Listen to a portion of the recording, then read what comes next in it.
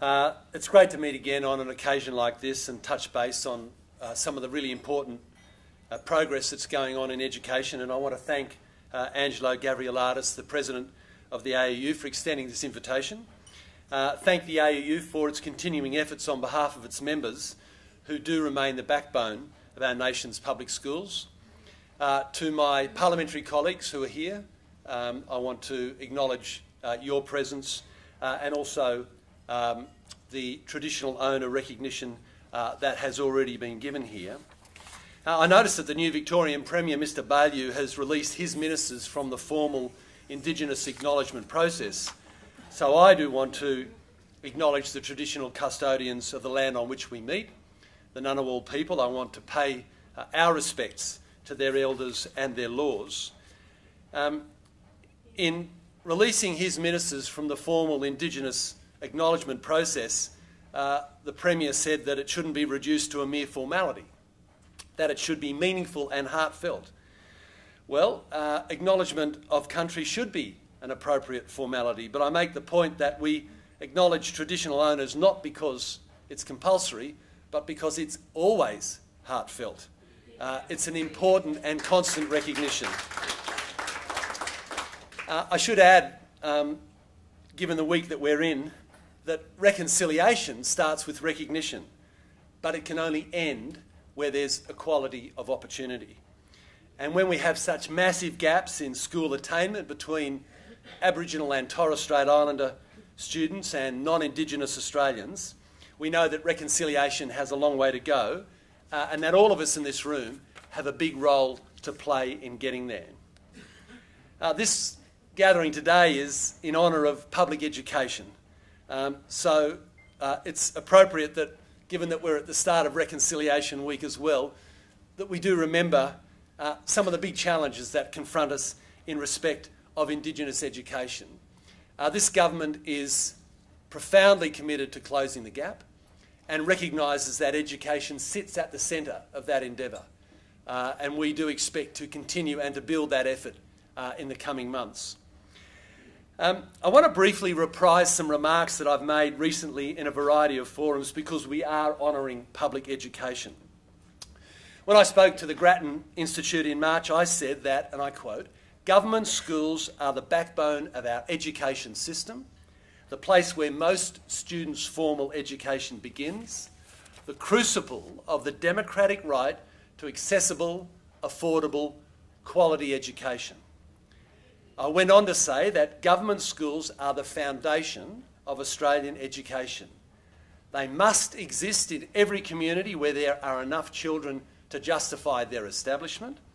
They take all comers and are, for many, the only path out of economic or personal disadvantage.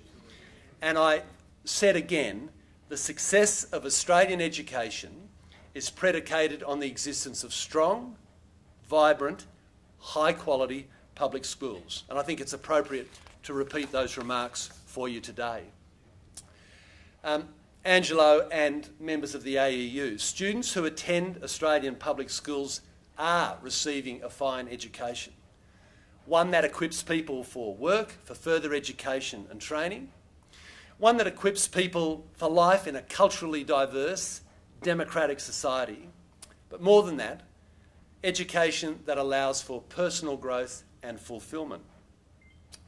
Now, some of you would know that Lyndsay Connors argued in her 2010 Henry Parkes oration that Parkes' vision for public education is of even more lasting significance to our future as a democracy than the structural arrangements that brought us into a federal system.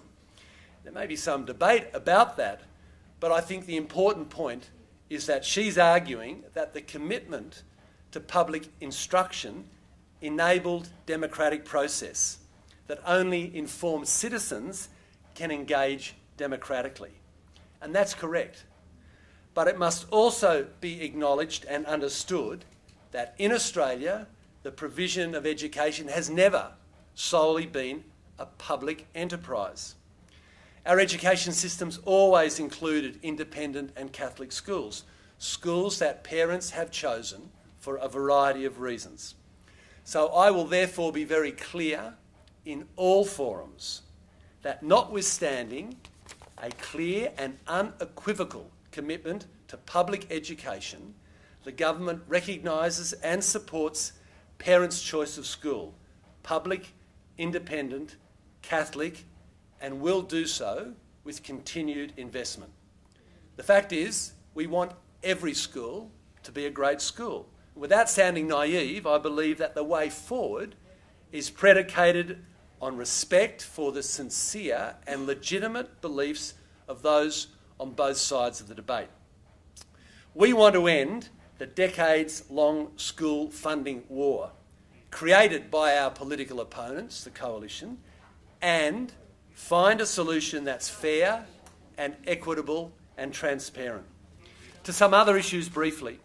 Yes, the government's education agenda is immense, and despite differences of views, we can all agree, I hope, that there's never before been a time when the policy debate is so wide, nor when school education has been so much at the forefront of federal government policy.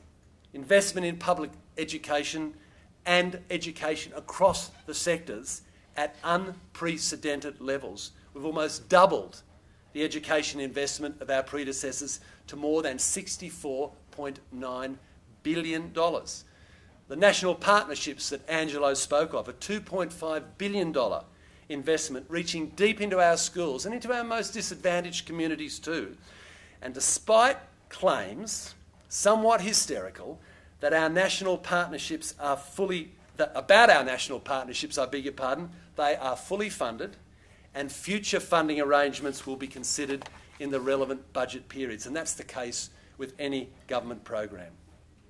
Angelo's opening remarks about the success of these programs in particular schools was fantastic and it's important to hear because at the same time we've transformed school infrastructure across the country with the nation's largest school building program.